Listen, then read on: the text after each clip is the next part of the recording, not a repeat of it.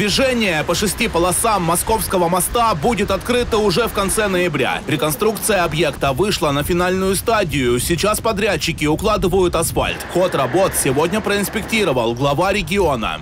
Проблем нет по финансированию? То есть э, э, Есть подрядчик вопросы? доволен? Нет, Нет? Да, да, да. Там все, да, все там в ритме. задержек не должно быть. Зад- То есть реально все надо оплачивать, проплачивать. На реализацию проекта направили более полутора миллиардов рублей. Новый мост разгрузит потоки машин. В обе стороны по три полосы. Сегодня во время реконструкции это пробка, да, определенная, значит, э, в часы пик бывает. Они сейчас расширяют э, дорогу еще для того, чтобы было комфортно водителям проезжать и соблюдать вопросы безопасности для пешеходов. До улицы водопроводной около 5 миллионов выделили с городского бюджета для того, чтобы создать комфортную среду. И мы сейчас сегодня определили по дате открытия 27 ноября мне доложили, даже раньше предусмотренного государственного контракта строители готовы сдать этот объект уже полностью в эксплуатацию. При возведении Московского моста подрядчики применяли высокопрочные материалы из монолита. Срок службы не меньше 100 лет. По пролету моста и пролету путепровода будет уложено два слоя асфальта. Для пешеходов будет установлено барьерное ограждение и со стороны конуса перильное ограждение. А в городе спутники реконструируют мост по улице Советской. Здесь тоже обновляют покрытие. Стоимость муниципального контракта 30 миллионов, но эффект от проведенных работ более весомый. В Новочебоксарске ликвидируют аварийный участок. Реально по объемам, когда можете вот начатые работы завершить? 1 ноября. 1 ноября. Препятствия какие? Пока никакие. На финальном этапе и благоустройство набережной Волги. За этот проект проголосовали горожане. Комфортной прогулочной зоны муниципалитету не хватало. Подрядчики продолжают укладывать тротуарную плитку и устанавливают фонарные столбы. Набережную Новочебоксарска теперь не стыдно и туристам показывать. Здесь подходят у нас люди, красиво, знаковое место. То есть востребованное место, да? Востребованное фотографируют. место Востребованное у горожан. Хорошо. Это первостроители попросили установить. Там вот до конца все же асфальт уложили практически? Ну, сейчас как раз ведутся работы. Бордюры мы установили. Будет укладка асфальта до конца, до Верхней Волжской набережной. Крайний срок благоустройства набережной 15 ноября. Но сдать работы подрядчики обещают раньше намеченной даты. Дмитрий Ковалев, Мальвина Петрова и Александр Петров. Республика. В республике продолжают развивать систему оказания медпомощи шаговой доступности. Строительство современных ФАПов – одна из приоритетных программ. Модульный пункт открыли и в селе Такаево Комсомольского района. Ленты, ленты в руки. Ленты в руки. Такаевский ФАП 179 в Чувашии. Реализация программы продолжается. До 2020 года в республике планируют обновить каждый третий фельдшерско-акушерский пункт. На сегодняшний день президент Российской Федерации Владимир Владимирович Путин поставил перед нами задачу, чтобы мы продлевали свое долголетие, свое активное долголетие. И поставил задачу перед регионами, перед субъектами Российской Федерации, чтобы средняя продолжительность жизни была 80 лет. На строительство ФАПа из регионального бюджета было выделено более трех миллионов рублей. Для оказания первичной медпомощи здесь есть все необходимое. Модульный пункт оснащен высокоскоростным интернетом для консультаций со специалистами районной больницы. Михаил Игнатьев оценил качество удаленной связи. Приветствую вас. Вы кем работаете в Центральной районной больнице? заместитель главного врача. И по э, остальным ФАПам э, мы рассчитываем, что связь тоже устойчиво будет работать. Успех вам в работе! Было бы очень удобно. Во благо Было бы жителей Комсомольского удобно. района, во благо долголетия этих жителей. В новом ФАПе будут обслуживать более полутора тысяч человек. Раньше им приходилось добираться до районной больницы, что в 10 километрах от села. Фельдшерско-акушерский пункт – это значимые события э, в селе Такаево. Действительно, здесь теперь есть э, все, все условия для э, комфортного обслуживания населения. И хочу еще выразить слова благодарности руководству республики, э, администрации Комсомольского района, администрации сельского поселения за заботу, сохранение здоровья. В этом году в селе Такаево откроют и многофункциональную спортивную площадку. Строительство этого объекта ведется по программе реализации местных инициатив. Дмитрий Ковалев и Валерий Резюков. Республика. Республика готовится отмечать столетие образования чувашской автономии и 550-летие Чебоксар. В Доме правительства прошло заседание рабочей группы по подготовке и проведению памятных дат. Основные вопросы Михаил Игнатьев обсудил не только с членами правительства, но и с главами муниципалитетов. Вся республика к празднику должна преобразиться, отметил глава региона. Каждый квадратный метр должен быть приведен в порядок. Даже где там нет, допустим, да, хозяина или хозяев. Закреплять надо эти территории своими решениями, чтобы каждый квадратный метр имел владельца, ответственного лица или ответственной организации, которые будут эту работу проводить. Ничего не справитесь.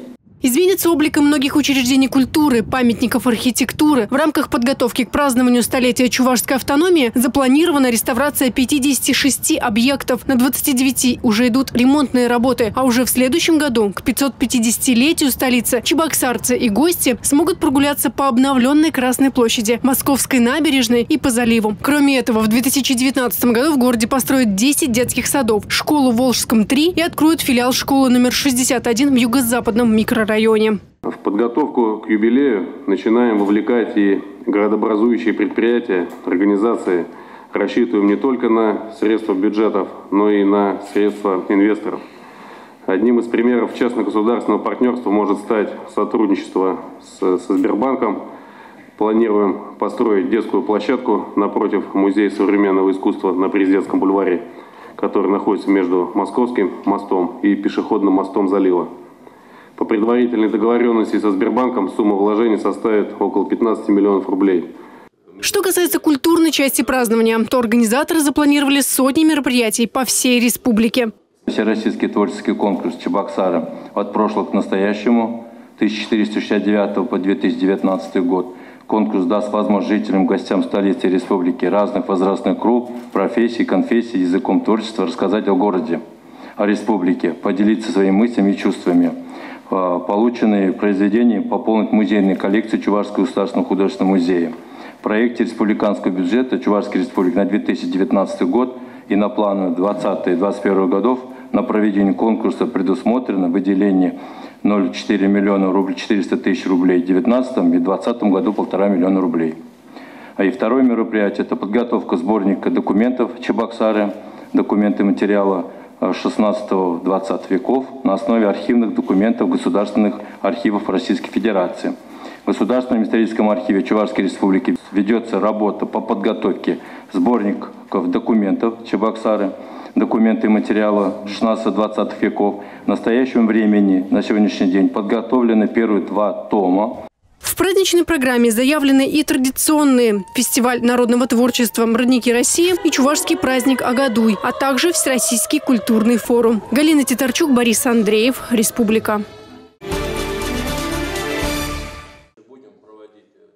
Сегодня в Чебоксарах прошел обучающий семинар по реализации стратегии государственной национальной политики России. Поделиться опытом, обучить практикам диагностики и урегулирования межэтнических и межрелигиозных конфликтов приехали эксперты из Москвы. В Доме дружбы народов они собрали государственных и муниципальных служащих из Чувашии. А в вашей республике, вот что касается мониторинга, э, не, не, не просто нет замечаний, а наоборот, все достаточно четко работает. Срок, все поручения, которые через нас проходили, вот они вырабатываются, отрабатываются очень быстро и очень качественно. Знаю, что у вас там 36 э, объединений национальных и там более 150 национальностей в республике. По э, данным мониторинга здесь достаточно спокойный, очень э, такой э, комфортный фон э, межнациональных и межрелигиозных отношений. Качественный мониторинг территориальной ситуации, сети интернет, привлечение экспертов религиозных национальных объединений к решению различных общественных вопросов – это лишь часть профилактической работы. А самый действенный способ предупреждения межэтнических и религиозных конфликтов – воспитание в обществе искреннего уважения и интереса к национальным культурам и традициям. Эту задачу можно решить, лишь объединив усилия заинтересованных сторон. Впрочем, в таком деле равнодушных нет и быть не может. Все три основополагающих элемента общества. Это власть, это гражданское общество в виде СОМК и это бизнес. Вот эти три элемента должны быть очень плотно завязаны и скоординированы. Вот это уже задача власти, собирать их. Татьяна Трофимова, Борис Андреев, Республика.